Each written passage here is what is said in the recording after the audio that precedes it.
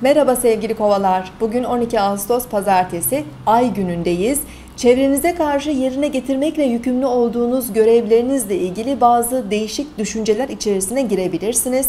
Başkalarıyla paylaştığınız kaynaklar, ortak gelirler üzerinde kendi kendinize düşünüp tartışıp yeni hamleler yapmaya karar verebilirsiniz.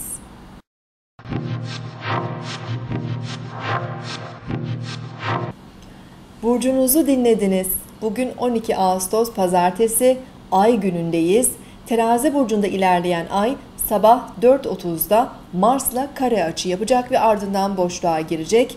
Bu nedenle güne biraz huzursuz ve keyifsiz başlayabiliriz. Baş, mide ağrısı gibi kronik sağlık problemleri bugün daha fazla e, ortaya çıkabilir.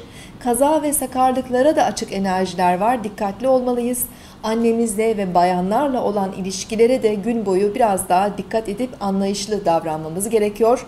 Ay gün boyu boşlukta olacağı için yeni girişimler, anlaşmalar, alışverişler için çok uygun enerjiler yok. Bu nedenle günü kendimizi rahatlatacak ve keyif verecek uğraşlarla ilgilenerek, sevdiklerimize vakit geçirerek geçirebiliriz.